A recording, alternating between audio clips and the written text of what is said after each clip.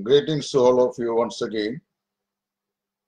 In the most blessed name of our Lord and Savior, Jesus Christ. Today I am going to discuss on a very important subject, which is cap- captioned here as a evidence for the resurrection of our Lord Jesus Christ. The doctrine of resurrection is the foundation of the New Testament. Not less than 104 times, the word resurrection is mentioned in the Holy Bible, especially in the New Testament. In my personal assessment, I have noticed that Christianity is the only religion with a living originator. We all believe Christianity was founded by our Lord Jesus Christ, who is the Savior of the world. When I speak about Christianity, don't misinterpret us the Christian world religion, what we see all around the world today. I'm talking about the Christian church and the saved members of the Christian church. There are so many religious leaders whose names are found in the Christian uh, in the world history. For example, Buddha was the founder of the Buddha Buddhism or Buddha religion. Buddha died and his mortal remains still sleeping under the soil. Brahma is believed to be the founder of Hinduism, and that God is also dead. Karl Marx is well known for the foundation and for the establishment of Marxism or communism. He too, he died and was buried in the soil and he is no more. But Christianity is the only religion. I think that it is wrong to say a religion because Christianity is not a religion. Rather, it is an experience. Christianity is standing on the solid foundation of the doctrine of the resurrection of our Lord Jesus Christ. On the cross, our Lord Jesus cried, It is finished. Matthew and Luke, they both say states that Jesus knew his time that he was about to give up his soul. And then he cried aloud, saying, It is finished. Luke says it is accomplished. What was finished here? A task which God the Father entrusted the Son of God to accomplish by his sacrificial death on the cross. He, having known it about, he said, It is accomplished. And he says, uh, I have done the work, or I have finished the work you have given me. The Father gave him a work to accomplish, and our Lord Jesus Christ completed it on the cross when he gave up his body as a living sacrifice. And the Father God said, Amen, to the cry of our Lord on the cross. By the resurrection, he stamped it. If Jesus Christ did not rise from the grave, we are all of most uh, men most miserable. Bible says we are all miserable men. Paul says in 1 Corinthians that if we hope only for this world, that we are miserable, miserable of all men. 1 Corinthians chapter 15, verses 16 to 90. Jesus said that he would die on the cross and rise again from the dead on the third day. Matthew chapter 16, verse 21. even though I want to read all these verses here, but that because of the laxity of time, I leave those references to you for your cross reference of what I am stating here. If the resurrection of our Lord Jesus Christ is true, as we believe, then Jesus, in, Jesus is indeed the Son of God. This is, this is the miracle on which all the other miracles stands for all. Our Lord Jesus Christ performed a lot of miracles while he was here on the earth in his earthly ministry. But all the other miracles stand on this great miracle, which is the resurrection of the Savior himself. Because Jesus said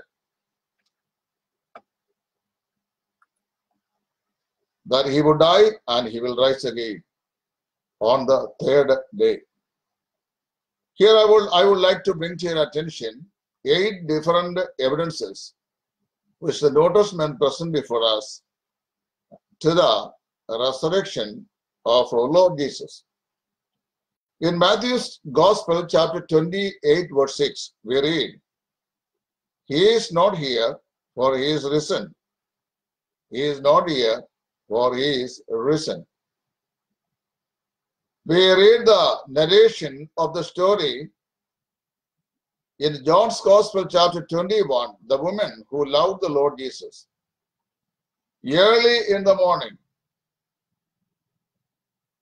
they visited the tomb of our Lord and they found the stone which covered the sepulchre was removed from its front and the seal, the Roman seal with which the tomb was secured, was broken.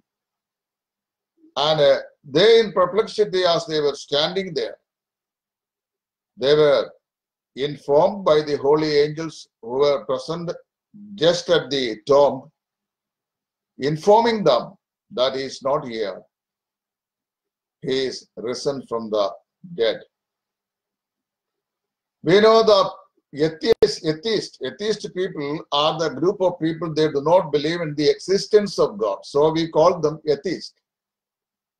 According to atheist philosophy, what they promulgate, they say that God is nowhere.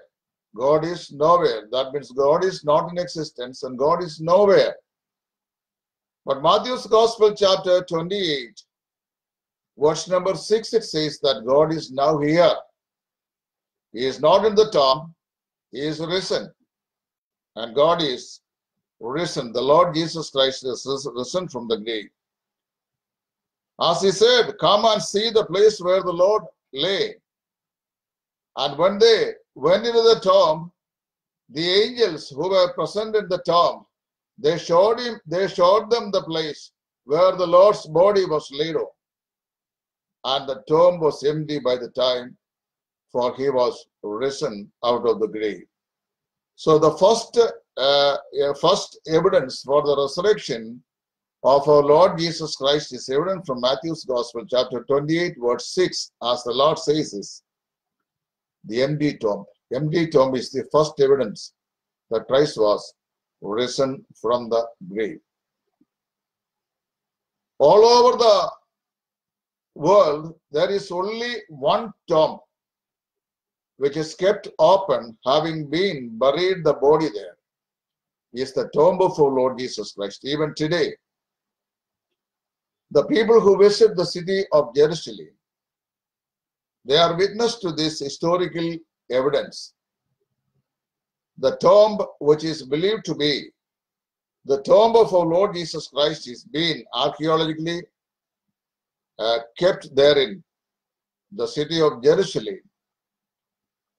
And uh, where it is written, He is not here, He is risen. He is not here, He is risen. So the empty tomb is the primary evidence for the resurrection of our Lord Jesus Christ. Secondly, and the, Dr. Luke is also recorded this particular event in Luke's Gospel, chapter 24, verse 3. And they entered in, that is, his disciples, Peter and John. They entered in and found not the body of the Lord Jesus.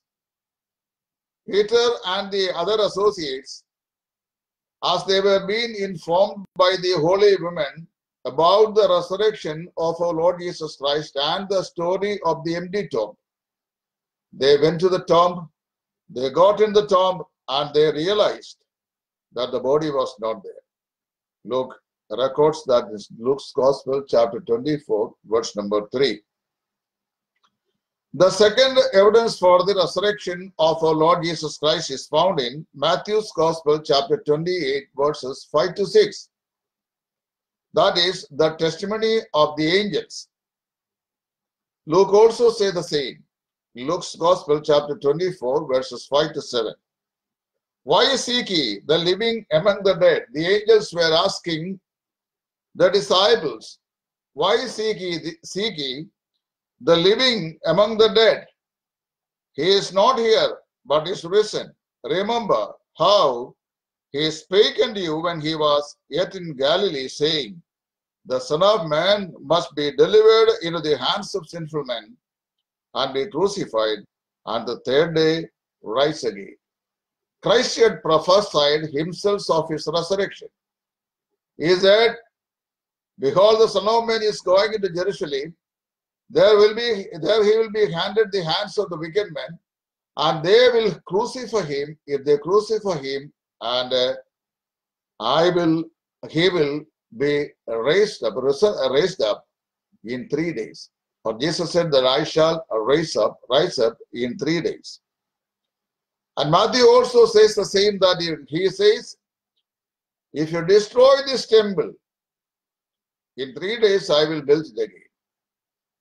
They mistook, they mistook it as bruising or demolishing the temple which was standing in their midst, which was being built by Herod the Great in 46 years of span. But Jesus was not talking about that uh, little temple which was standing in the city of Jerusalem in those days. He was talking about his own body. He said, Crumble this body, or destroy this body, or kill me. I will build it up in three days. He was talking about his resurrection. So we have the first evidence, the empty tomb, and second evidence, the witness of the angels in this specified Bible reference of Luke's Gospel, chapter 24, verses 5 to 7, and Matthew 28, 5 to 6. Let me go on. The third evidence. The third evidence for the resurrection is found again in the Bible that the people who talked to him after his resurrection. There are many people who have talked to the Lord Jesus Christ in his post resurrection appearances. For example, Peter, Apostle Peter, prominent among the apostles, Mary, the mother of Jesus, Cleophas, and Thomas. In John's Gospel, chapter 20, verse 28, we read that when Jesus, when Thomas was absent at the first time that the Lord Jesus Christ appeared to his disciples, and the disciples reported to Thomas that Christ had been risen and he had visited them while they were sitting in a room, the door being closed, Jesus stood in their midst and say, said, Peace be unto you. Then Thomas said, Unless otherwise I see him and put my finger into his fingerprints, that I shall never believe. Then on another occasion, when Thomas was also present with the other disciples, Jesus stood again in their midst and then showed his uh, side, which was pierced with a spear head, and also showed his hands and the nails prints. And thus said Thomas that now, be not an unbeliever, believe in me. It is I am. Come forward and put your finger on this nail print. Then Thomas returned, My Lord and my God. John's Gospel, chapter 20, verse 28. So we have the witnesses of the people who talked to Jesus Christ after his resurrection. Apostle Peter, Mary, the mother of Jesus, Cleophas, and uh, Thomas the Apostle. Fourthly, we have another evidence that Jesus ate and drank after his resurrection, showed his wounds, etc. To friends after after his resurrection, he has been after once he, was resurrected from the grave, that he showed his hands to the apostles and the people who met him. Then he ate, drank and ate with them. In John's Gospel, chapter 21, the, the backslidden Peter, he went back to fishing, uh, taking the other disciples also along with him. In the Sea of Galilee, but they could not get anything. And when they were about to come to the shore, our Lord Jesus had already prepared the food for them, both the bread and the fish. And when they, they came to the shore, Jesus asked them to take the bread and, and eat the fish. And he said, Come, eat the bread and uh, eat the fish. He provided them. And on another occasion, we read that Jesus also ate and drank with his disciples. That was in his post resurrection appearance. That is the fourth evidence. Even though he was in a glorified body at his resurrection, yet he was able to eat and drink. And he had supped with his disciples.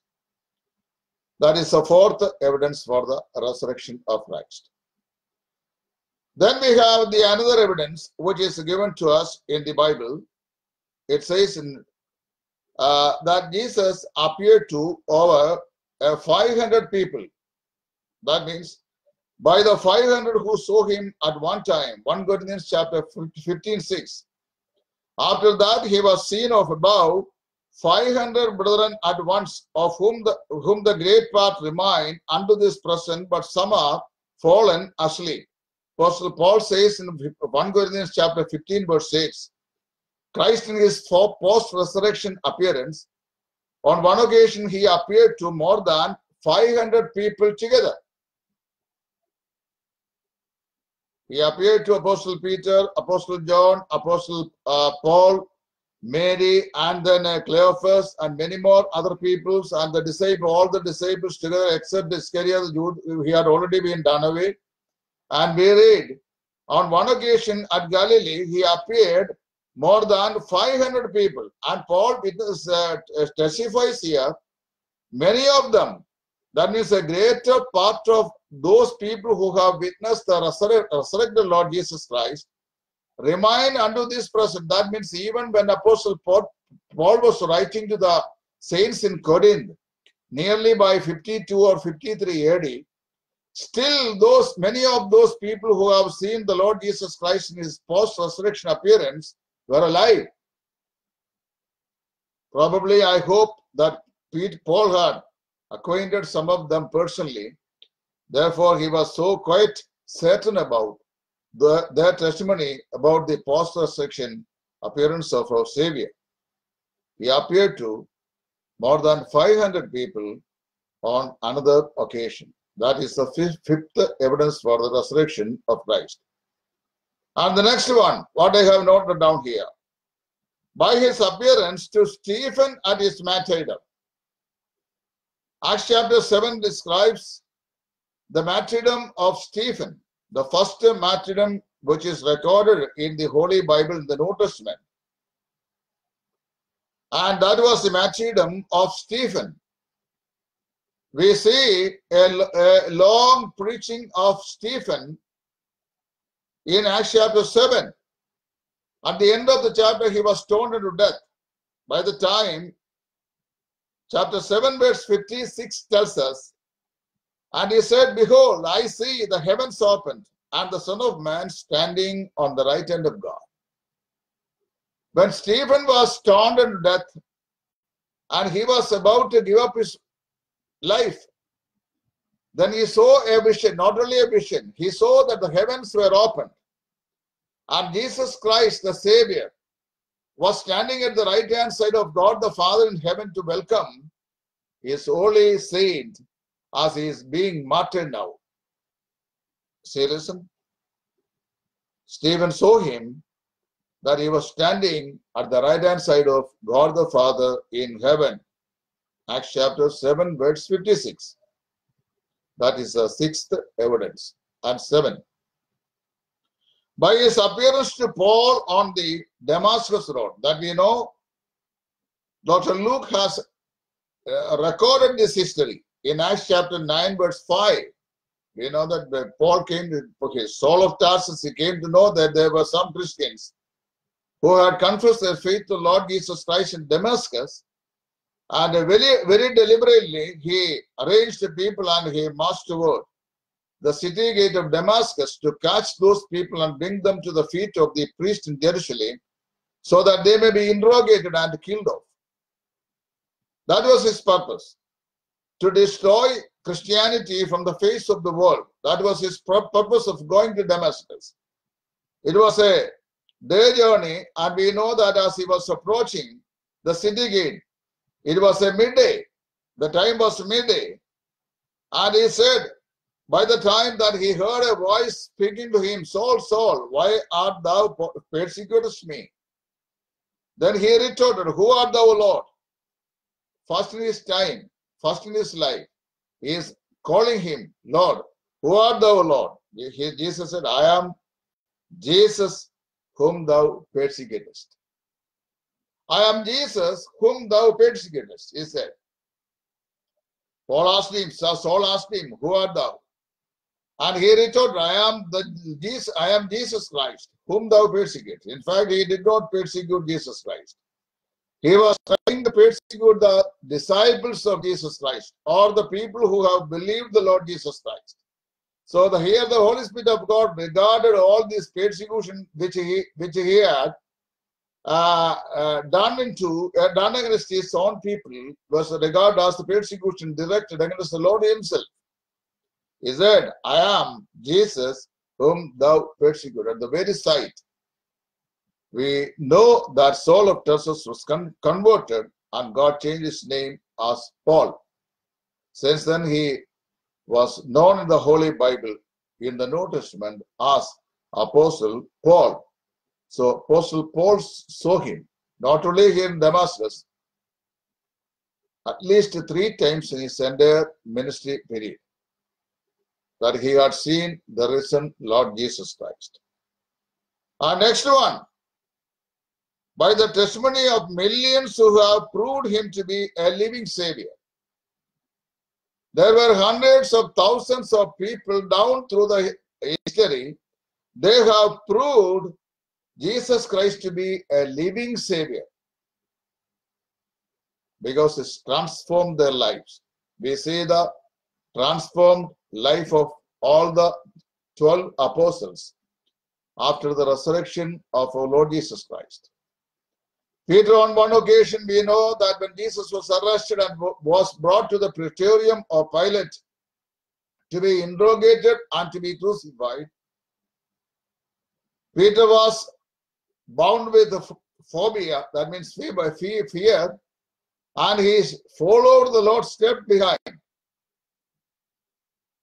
And uh, at the last moment, we read in the book of Luke and book of, book of Matthew that he, he denied our Lord Jesus Christ thrice. And Jesus had already foretold about this. Denial of Peter that before the crow, before the, uh, see, now this, this is what? We're in the Matthew's Gospel.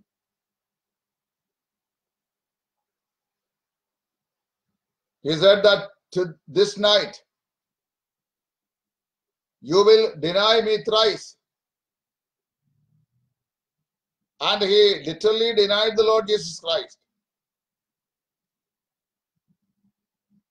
He followed him step behind to stand far away and to watch the, the prosecution scene of our Savior. Then he finally seated with those Galileans. And when, when they said, this man also belonged to his community, he sharply denied the Lord, saying that I knew him not. And then he say he cursed and denied, saying, I knew him not.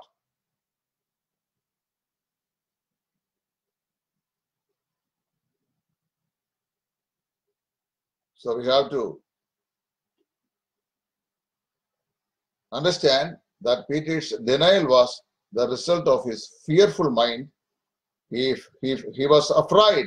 He was also be taken to the praetorium or Pilate to be interrogated and maybe were bearing witness uh, for the Lord Jesus Christ for his ministry. So he kept himself away from. But the same Peter, we see his courage that he was standing in the day of Pentecost before the, the uh, hundreds of people, the Jewish people, thousands of Jewish people who gathered there. And he looking onto their face, he said, the Christ whom you crucified, God raised him from, from among the dead, and we are witness unto it. And he said, Christ whom you crucified, God raised him from among the dead, and we are witness unto it. Boldly he testified for the resurrection of the Lord Jesus. This is the transformation that had took, taken place in the life of Peter. Not only Peter, all the disciples were greatly transformed after the resurrection of Jesus Christ because they have been uh, possessed by the resurrection power of Christ.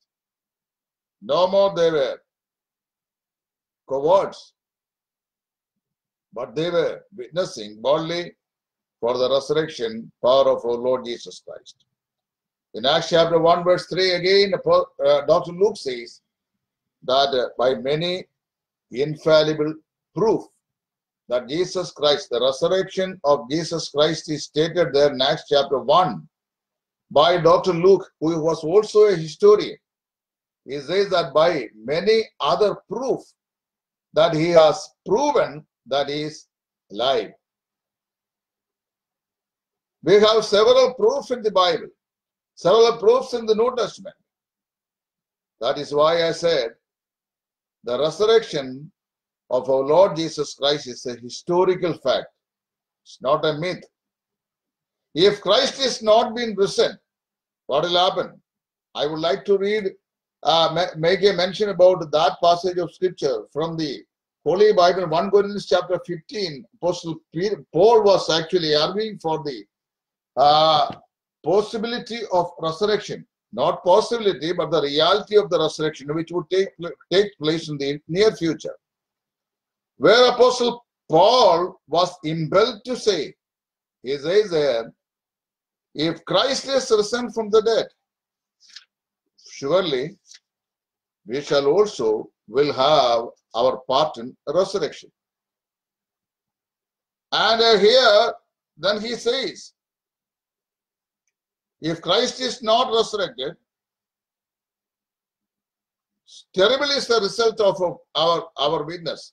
That means we will be known then as a false witness to God Almighty. For he says very logically that we are preaching a Christ who is risen, whom God hath not raised up from the dead. What a good argument is that? In case Jesus Christ is not been risen, Paul says, we are bearing false witness to God because God has not raised him, but we proclaim the world that God raised him and Jesus is risen from the dead. Not only that, he also says, if Christ is not risen, our preaching is in vain. Our preaching is preaching is in vain, and your faith is also vain. Our preaching is vain, and your faith is also vain. Yeah, and we are found false witnesses of God because we have testified of God that raised up Christ whom he raised not up. If so, be that the dead rise not. Oh, what a great argument is that. Yeah. He says, But by the grace of God I am what I am, and his grace which was bestowed upon me was not in vain, but I labored more abundantly than any than they all yet not, but, but, but the grace of God which was with me. Then he says, Therefore, whether whether it were I or they, so we preach and so he believed. Now, if Christ be preached, uh, pre preached that he rose from the dead, How say some among you that there is no resurrection of the dead?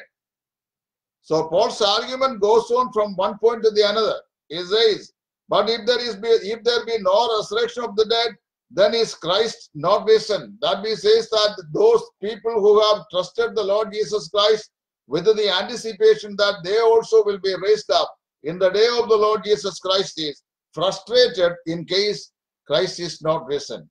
That Then he says, assuredly, if Christ is not risen, then no. If, if there is no resurrection of the dead, then Christ is also not risen. And if Christ is not risen, then is our preaching in vain and your faith is in vain. And uh, those who and we bear false witnesses of God because God had not raised the Lord Jesus Christ from the dead, but we witnessed all over that God raised him up. And verse number 16 again he says, if if if the dead, dead is not uh, if the dead rise not, then is not Christ raised. And if Christ be not raised, your faith is vain, and ye are yet in your sins.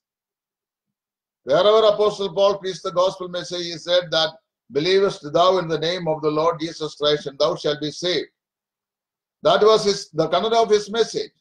Forgiveness of sin, he presented only by believing in the Lord Jesus Christ. Now he says, And if Christ be not raised, your faith is vain. Ye are, ye are yet in your sins. And then they also, which are fallen asleep in Christ, are perished. Those millions of Christians who personally believe and accept the Lord Jesus Christ as their personal Savior and Lord. Paul says they are also perished because Christ has not been risen. And then he says in verse number 9, if in this life only we have hope in Christ, we are of we are of all men most miserable. What a beautiful argument is that. So I have presented here eight different evidences for the historical resurrection of our Lord, Lord and Savior Jesus Christ. First was the empty tomb, and secondly, the testimony by the angels who were sitting one on the feet side and the other on the head side in the, within the tomb, witnessing to the women, saying that he is not here, he is risen from the dead. And thirdly, people who talked to him after his resurrection especially Apostle Peter, Mary, the mother of Jesus, Cleophas, and Apostle Thomas. Fourthly, Jesus ate and drank after his resurrection along with his uh, disciples. And fifthly, he appeared to more than 500 people uh, at, a, at a time in Galilee, and most of them were living even by the time when Apostle Paul was writing this epistle to the saints in Corinthians. And six, by his appearance to Stephen at the time of his martyrdom. And seven, by his appearance to Apostle Paul at the city road to Damascus. And eight, by the testimony of millions of people who have transformed their life by the uh, that the resurrection power of our Lord Jesus Christ. And as Dr. Luke states in Acts chapter 1, verse 3, by many infallible proofs. So these are the biblical evidences we have for the resurrection of our Lord Jesus Christ. Along with this, I also would like to add one more point from the secular history.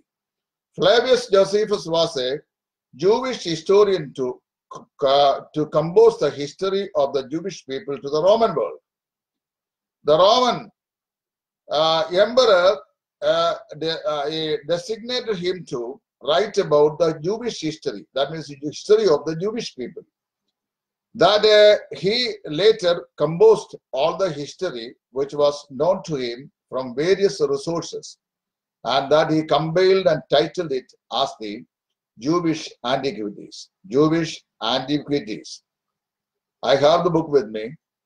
Those of you do not have it, you can avail it from Google.